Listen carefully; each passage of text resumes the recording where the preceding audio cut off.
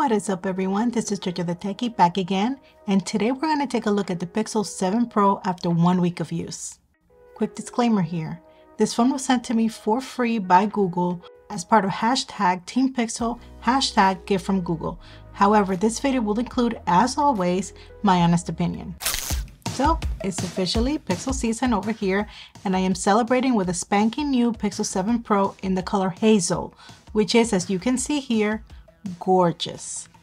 I love the gold trim and camera bar and how it looks against this grayish green glass back. I mean, just look at this beauty.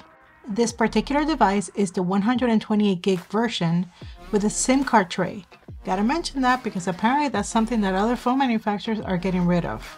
And a three camera array in this camera bar that has gone from being all glass in the previous iteration to now being polished aluminum, which wraps around the entire device, giving it a seamless look.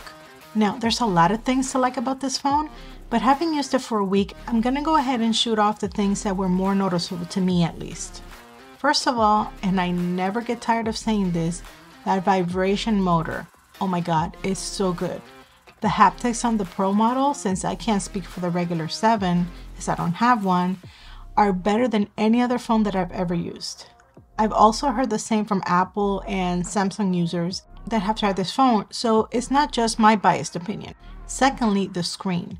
Coming from the regular Pixel 6, it is a night and day difference. This is a 6.7 inch Quad HD display that gets nice and bright with up to 1000 nits in HDR and up to 1500 nits at peak brightness.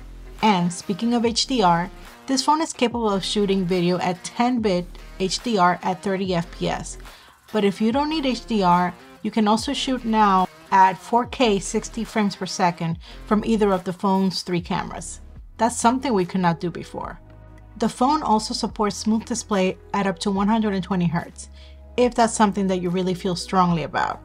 And not a deal breaker for me, or for most people really, unless you're really used to looking at higher refresh screens. The display on the Pro last year got some complaints due to the steep curve on the sides of the phones.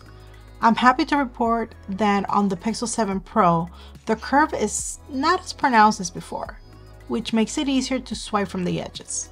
Another change is the location of the side buttons, which is now lower and thank God because that's the only way I would be able to handle a pro size phone with these, these tiny hands.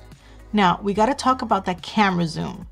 So the three camera array in the back of the phone includes a 50 megapixel wide shooter, a 12 megapixel ultra wide, and a 48 megapixel telephoto with a 5x optical zoom and super res zoom at up to 30x, which is quite impressive. It can also do macro photography, which it detects automatically when you're trying to take a picture of something up close. Google also introduced cinematic mode, which we did not have before. It is still in its infancy and it still has more to go to look like a DSLR, but now we can join Apple users in saying that we have it too. But there's one more thing the Pixel 7 series has this year, that it hasn't had for a while, and that is Face Unlock. This Face Unlock uses the front-facing camera. It's fast and convenient, and you can set it up so that it completely skips the lock screen and takes you right into your phone. However, because it is just using the front-facing camera and not using specialized hardware to eliminate your face and detect depth, it is considered a class 1 biometric. This means that it will unlock your phone but it won't be enough for things like making contactless payments or filling in passwords. The fingerprint sensor is also much better this time around. It's still not ultrasonic, but trust me, it works faster. Now, I'm not sure if this is because the phone is still very new, but I've heard the same from other people. So it may be that Google was able to figure out the correct software sauce to make it snappy.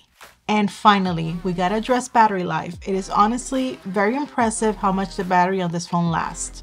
Google Spec says that it should last you about 24 hours, and honestly, I can attest to that being the case for me when I'm not streaming video, music, and refreshing Twitter like a maniac. Typically though, if I'm doing all these things, I expect to get about a full workday and then having to put it back in the charger in the evening. So that's it for my one week impressions of the Pixel 7 Pro. Now you should like, subscribe, and click on the notification bell so you can be notified when I post my one week later review of the Pixel Watch. Which is coming next. So don't miss it. See you in the next one.